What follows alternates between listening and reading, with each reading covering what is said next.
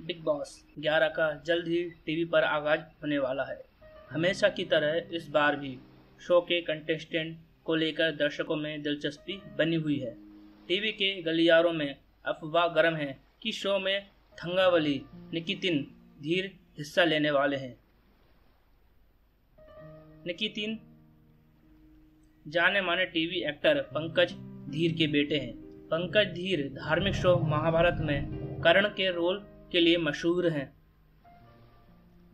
लंबी कद काठी और हैंडसम लुक वाले निकितिन धीर वैसे तो शादीशुदा हैं।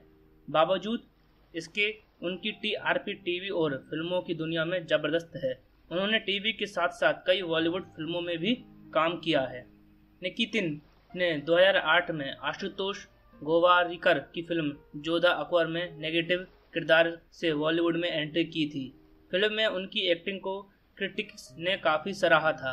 इसके बाद तो जैसे उनकी झोली में विलेन के किरदारों की बाढ़ सी आ गई है, आ गई हो। उन्होंने comedy film Ready, Dabangg two और चेन्नई एक्सप्रेस में विलेन की भूमिका निभाई। निकितिन को इंडस्ट्री में असली पहचान रोहित शेट्टी की फ़िल्म चेन्नई एक्सप्रेस से मिली। फ़िल्म में उनके किरदार थंगावली को दर्शकों ने खूब पसंद किया। शाहरुख खान और दीपिका पादुकोण की यह फ़िल्म बॉक्स ऑफ़िस पर सुपरहिट हुई थी। निकितिन धीर ने खतरों के खिलाड़ी सीज़न फाइव में हिस्सा लिया था।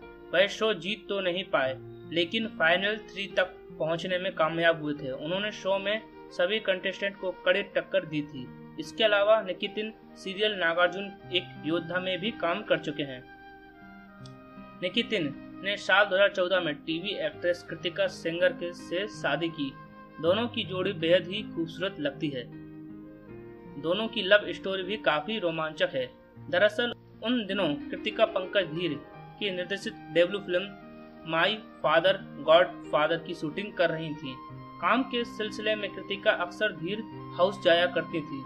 तभी उनकी निकितिन से मुलाकात हुई। धीरे धीरे दोनों में एक दूसरे के प्यार में पड़े और फिर शादी के सूत्र में बंध गए।